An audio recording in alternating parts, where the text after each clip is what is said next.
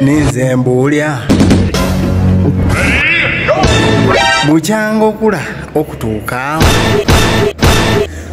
ekiranga ekyolinakyo oyabirako mikolo mingi. Ebyabagole wali owaineku omugole. Ng'aza mu kidaala amukweyamba